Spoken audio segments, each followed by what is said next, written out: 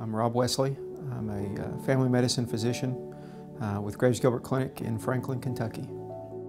Flu season is just around the corner, and the question is how do patients get ready for that? What can they do to prevent the flu? What can they do, you know, to treat it if they get it?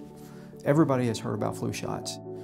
The flu shots um, are against at least three different strains of the flu, and typically Nowadays, we're using what's called a quadrivalent flu shot, which covers three different flu viruses that are predominant around the world. So it's a moving target every year for us to try to keep up with this organism. It's a scary, it's a scary bug. You know, the biggest myth is I got the flu from my flu shot last year, so I don't want to take it this year. The majority of flu vaccines that we have now are actually killed virus vaccines. They cannot infect you.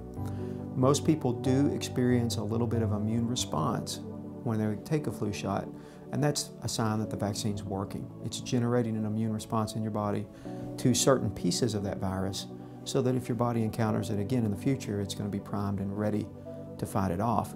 And so you might get a little headache, you might get a little bit of a sniffle, uh, and you might feel kind of puny for a day, but that's not a sign that you're actually getting the flu. And the flu is not a uh, insignificant illness. Uh, we, we have about 23,000 people die every year in America from the flu um, and flu-related illnesses, which is staggering when you think about it. Uh, that's, that's a significant sized city that we lose every year.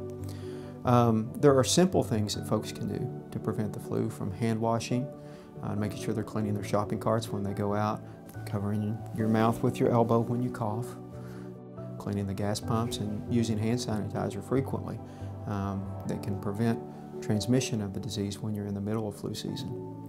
But also, if you're sick, stay home.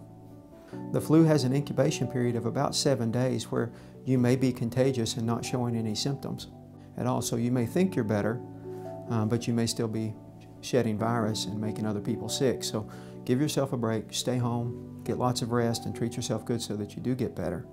Um, that's one of the most important things I think I could say, particularly with school-aged children.